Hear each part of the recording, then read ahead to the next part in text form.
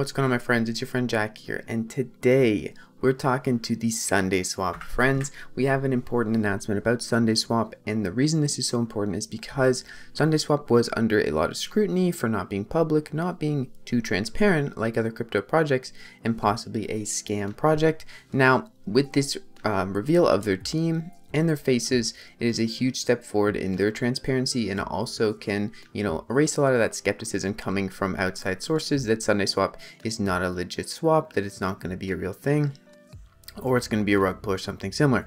So with that being said, let's go check out the team. This is huge news. Just going to be a quick video and I want to cover why I think this is so huge. Obviously I just mentioned more transparency is better for the project, better for the long-term side of things. And if SundaeSwap is going to do well in the short term, it needs to have a transparent team uh, so people feel confident investing in the project. Now, right now, if you missed my other videos on SundaeSwap and why I think it's so huge of an opportunity, you can go ahead and check those down in the description. I'll link them down below and on the screen right now. But we're going to take a look at the team. So, the core team, Artem Wright, co-founder. With a background in breaking things, Artem has previous experience in finance and was the head of a previous startup in which his roles were focused around growth and strategy. To SundaeSwap, he brings the skills necessary for business development, marketing, and facilitating operations. Now, the other co-founder is Mateen Motivaf. I'm probably pronouncing these names wrong. I'm so sorry to the team if I am.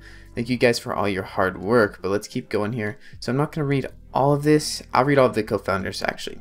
So Mateen has a variety of experiences from working as head of strategy and lead UI and UX designer at a tech startup to running two nonprofit organizations where he manages and leads 20 researchers across the United States, publishing scientific papers and meta-analysis on a bi-weekly basis. Really like publishing scientific papers. I think that goes really well with the peer-reviewed papers that Cardano has been, you know, all about. And at Sundae SundaeSwap, Mateen is responsible for maintaining SundaeSwap's suite branding, business development, talent sourcing, and UI and UX design. So probably responsible for this whole site looking amazing or a very big part of it.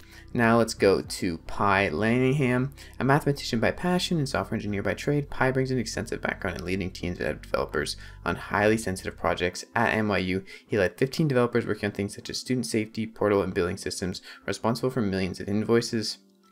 So I'm not going to read the whole thing. You guys can go read this. Um, you know, industry expert Matt Ho, they got a bunch of experienced qualified people on their team and more of their team is going to be announced on June 1st as well as the rest of the roadmap for how they're going to be rolling out the ISO and what it's going to be looking like because they did delay the ISO if you don't already know and all on June 1st everything is going to be a bit more revealed. They're also going to be doing a live stream, I believe, so stay tuned for that. And make sure you subscribe to this channel for more Sundae Swap news once again, if you missed the videos on why SundaeSwap is such a great opportunity, definitely go check out those videos down below. Could be the next pancake swap, who knows. But thank you guys so much for watching this video. Hope you guys enjoyed the update. I'll leave the link down to this article down in the description too. Peace out. Follow me on Twitter so you don't miss these. And I'll see you guys in the next video.